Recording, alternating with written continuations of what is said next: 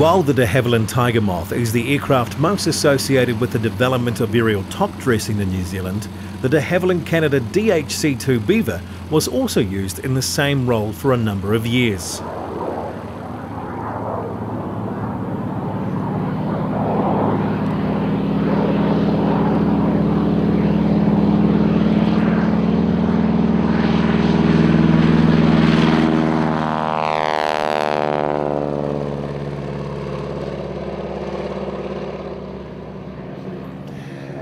First flown in 1947, the Beaver was de Havilland Canada's second design after the Chipmunk.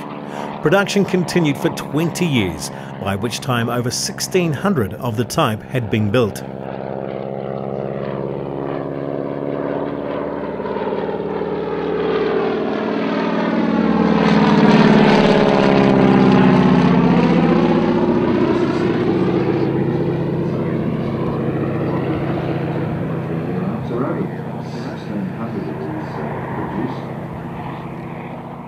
The rugged design of the aircraft and its impressive short takeoff and landing capabilities have meant that the type has been used for all manner of roles from top dressing, cargo and passenger haulage and military applications.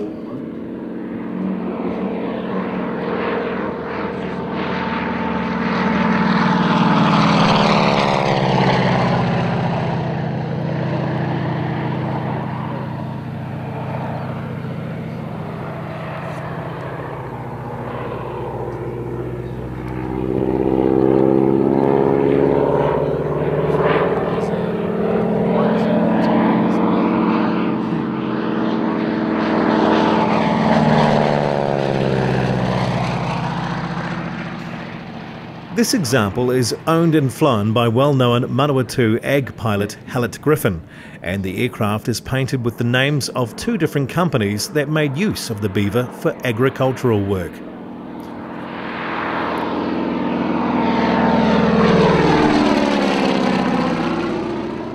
The right side of the aircraft bears the name East Coast Air Services Limited, while the left-hand side of the aircraft commemorates Field Air's use of the type.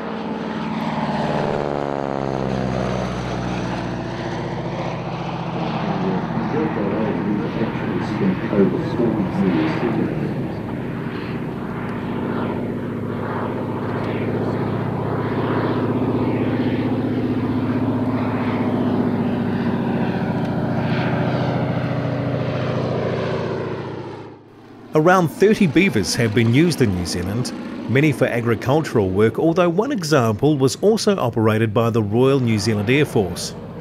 That aircraft was used by Sir Edmund Hillary's team in the Commonwealth Trans-Antarctic Expedition in the late 1950s. In January 1960, it was written off after an accident on the Beardmore Glacier.